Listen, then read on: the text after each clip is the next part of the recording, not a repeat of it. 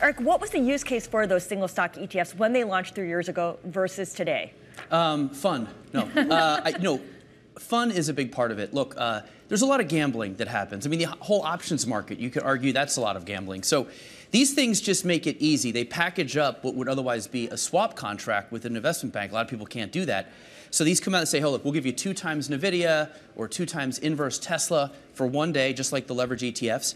And I think there is definitely a gambling aspect. I call it package adrenaline. Mm-hmm. People have a boring 401k and they're like, oh, let that grow for 30 years, but I want to have some fun in the meantime, give, make me feel something. And I think these do. I mean, they have a lot of volatility.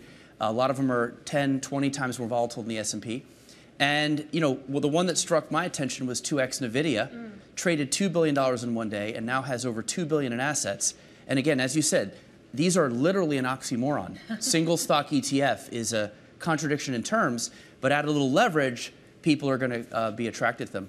Well, to your point, I think that fun is sort of an investing strategy that can't be ignored. You take a look at what's going on with meme coins, but I digress. You bring up NVIDIA, and I'm wondering the fact that you have so many single stock stories, the fact that you have some of these breakout stars in the single stock wrapper, I have to imagine that's helping fuel the interest here. Yeah, two things really correlate with the assets and flows here. One is volume on the stock itself. So if you look at the most traded stocks uh, every day, NVIDIA is number one by about twofold. Tesla's number two. Tesla used to be number one. NVIDIA is now like the top dog. Sign of the times. And those two stocks make up like 80% of all the assets in these single stock ETFs. So volume's one.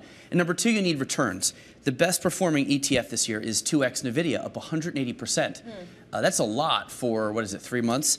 And then 2x Meta is even up 100%. And then negative 2x Tesla's up about 100%. So, you know, these are the kind of returns that are definitely going to attract the crowd that wants that sort of adrenaline.